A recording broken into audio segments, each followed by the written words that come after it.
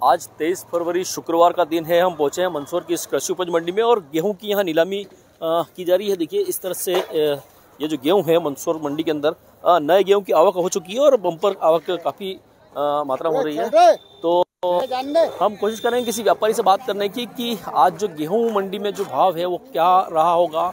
तो चलिए हम कोशिश करेंगे किसी व्यापारी से साथ बात करने की और किसान जो है उनसे भी कोशिश करेंगे बात करने की।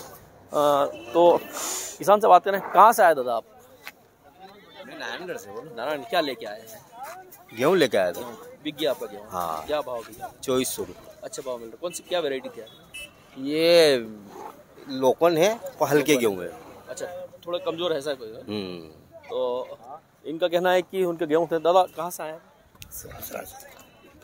सुहासरा। सुहासरा से। क्या गेहूँ लेके आए हैं? गेहूँ लेके आए। क्या भाव बिका आपका हमारा गेहूँ बहुत कम बिका है। कल तो अट्ठाईस सौ रुपये बिक रहा था। अच्छा। आज साढ़े पच्चीस सौ ही बिका कौन सी क्वालिटी है लोकवन लोकवन है। क्या भाव बिका आपका?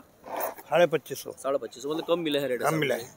तो किसान का कहना है कि जो कल जो भाव थे वो अच्छे भाव थे लेकिन आज जो वो उनकी गेहूँ की नीलामी हुई है उसमें उनको कुछ कम भाव मिले हैं। तो हम व्यापारी से जानने कोशिश करेंगे कि आज का क्या भाव मंडी का रहा और अगर करेक्शन आया है तो वजह क्या है?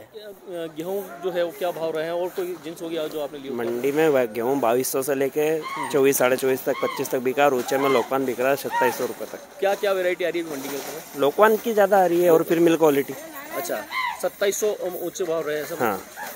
तो जो है व्यापारी जिनका कहना है कि सत्ताईस आज जो क्या करेक्शन है क्योंकि कुछ किसान कह रहे थे कि आज थोड़ा भाव कम मिला ऐसा कुछ है क्या नहीं नहीं नहीं माल गीला भी आ रहा ना अभी नया आना चालू हुआ है जैसे जैसे सूखा आएगा आव के बढ़ेगी तो उस हिसाब से भाव कम ज़्यादा होता है डिफरेंस तो चलता ही है। तो, तो मॉइस्चर है मॉइस्चर तो आ ही रहा है।